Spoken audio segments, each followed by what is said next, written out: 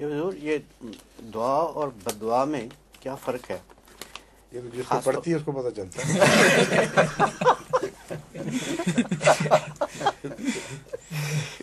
मगर बात जरा इकट्ठी भी हो जाती है। अब मैंने कहा था कौम के लिए दुआ करो जी।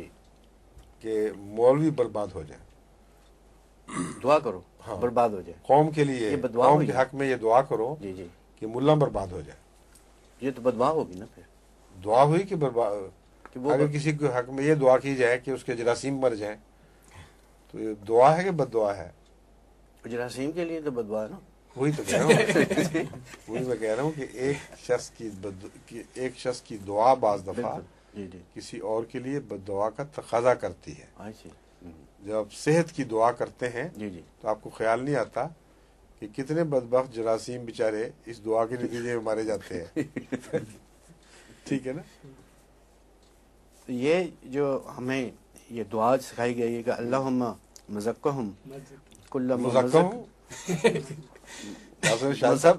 छोड़े हो लोग देख रहे हैं टेलीविज़न सारे। आपका एक भ्रम रह गया दुनिया छोड़े इस बात को हाँ। तो मेरे कहने का मतलब यह है कि उर्दू में तो इसका तर्जमा यह है ये अल्लाह इन्हें परा परा कर दे हाँ इन्हें पीस कर रख दे और इनकी खाक उड़ा दे। ऐसी खौफनाक बददुआ है ये मेरी, मेरी नज़र में कि आदमी सुन के काँप उठता है।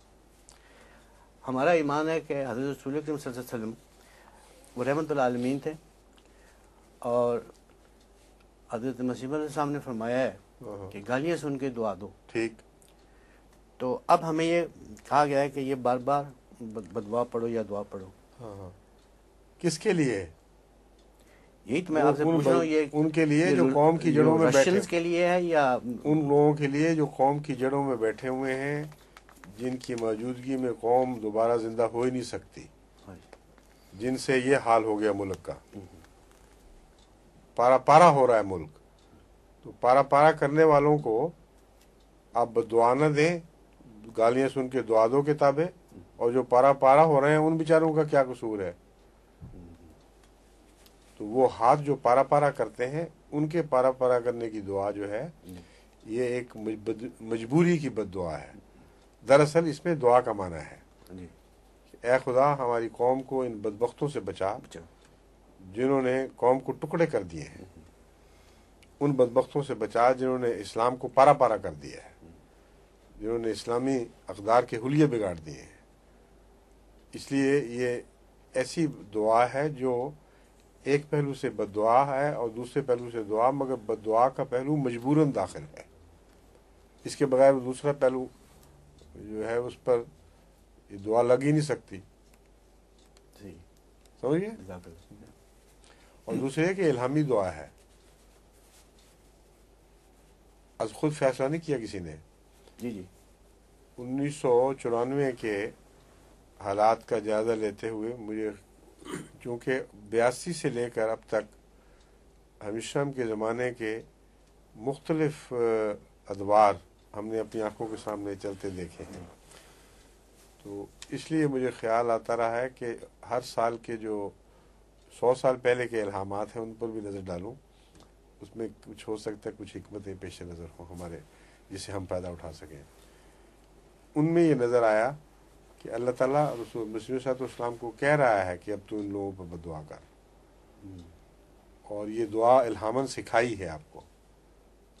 अल्लाह मज़िक हम कुल्ल मज़िक साहिक हम तसीक़ा तो इस पहलू से मुझे ख्याल आया और दिल में यकीन से ये पूरी तरह यकीन भर गया कि ये इस दौर के मौलवियों के लिए अब दुआ बदुआ करना लाजिम हो गया है वरना कौम बचती नहीं अब। ये वैसे ही है इससे याद आ जाता है हज़रत नू का वाक़ कि हज़रत नू को भी खुदा ने खुद बदुआ करने की तलखीन फरमाई थी। ये कहा था कि इन कौम, इन लोगों ने अब फासिक फाजर के सिवा बच्चे नहीं जनने। जिन्होंने ईमान लाना था तुझ पर ईमान ले बाकी कुछ नहीं होगा। तब हज़रत नू ने अल्लाह के इल्म के मुताबिक जब ये मालूम कर लिया कि अब ये कौम ऐसी है तो सारी कौम के लिए बदुआ की। लेकिन मैंने ये सोचा था कि बजाय इसके कि वो हाल पहुँच जाए कि सारी कौम बर्बाद हो जाए, क्यों ना बर्बाद करने वाले हाथों के खिलाफ बदुआ कर दी जाए। समझे?